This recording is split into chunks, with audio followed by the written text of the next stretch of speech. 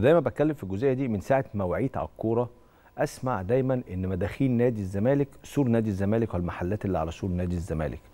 وكثير من الإدارات إن لم يكن كل الإدارات اللي عدت على نادي الزمالك فقط سور نادي الزمالك سور نادي الزمالك وشوية الاشتراكات بتاعة الأعضاء.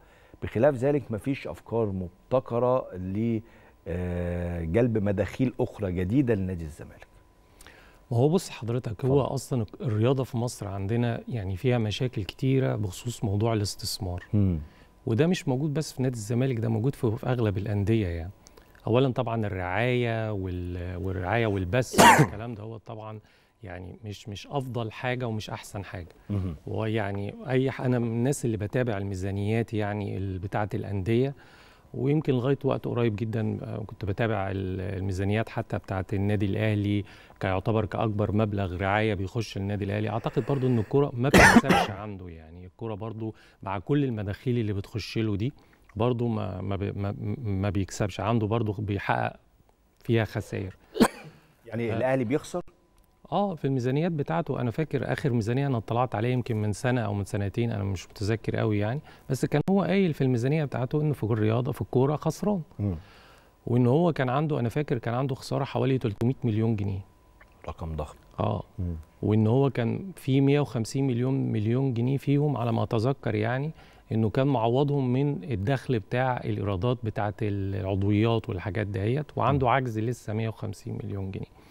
فهي الكوره في مصر ما بتكسبش ما بتكسبش لأسباب كتيرة جدا جدا أولها طبعا الجمهور ع- التسويق يعني جمهور جمهور المدرجات والملاعب. والمدرجات والملاعب ده, ده دخل لا يستهان به خلي بالك يعني آه. رقم كبير جدا جدا. أنت يعني في يعني رقم كبير ممكن تحققه من الكلام دوت. طبعا أرقام البث برضو آه، الرعايات الكلام ده كله.